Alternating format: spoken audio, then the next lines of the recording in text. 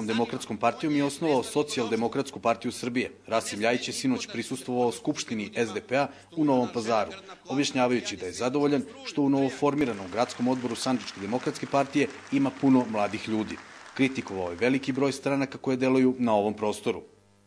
Od 40 registrovani, 10 stranaka je i Sanđak. Pa ko da je nas ima ko Kineza i, i Rusa zajedno? Pa to je mnogo ljudi, pa to je mnogo za bilo koji narod, da ne znam koje veličine.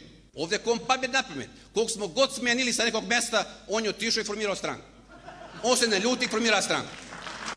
Ljajić je naglasio da se grešilo i da su uspeli da isprave greške pri izboru novih lidera partije, ali i da će se boriti da svih šest sanđačkih opština sigurno budu u jednom regionu. Pa ja kažem i Kokolu, ja kažem i drugim Kokolima, da će svi šest opština biti u jednom regionu.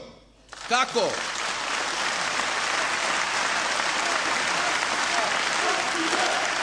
Ali,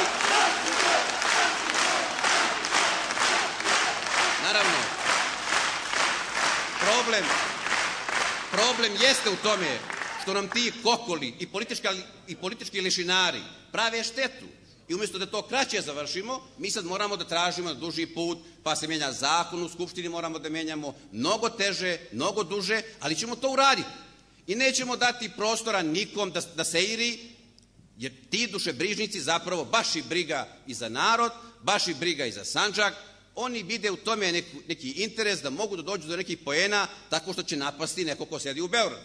E pa izvinite, mi sedimo sad i u Beogradu, sedimo i ovde, bez toga ne bi bilo ništa.